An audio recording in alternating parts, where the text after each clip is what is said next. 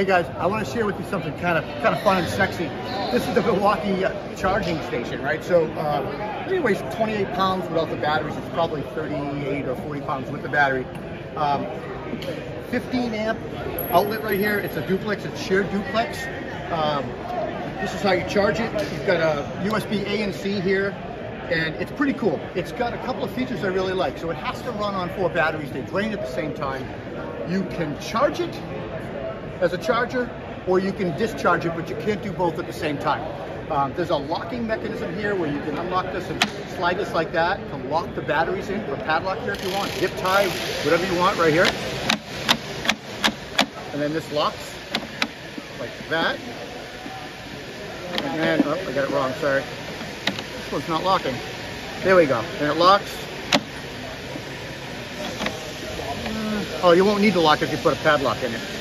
And then uh, a couple of the couple of D-rings on the side. You can do a strap, or you could lock this down with a cable.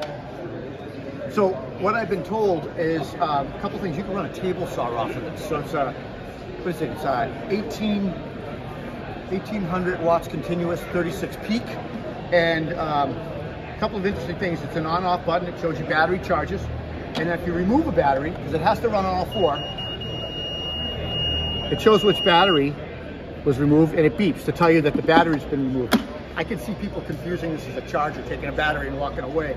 The other thing that's kind of cool is, um, here we go, um, as the batteries drain and one of the batteries dies, or all the batteries die, it will beep as well, letting you know that the power has stopped.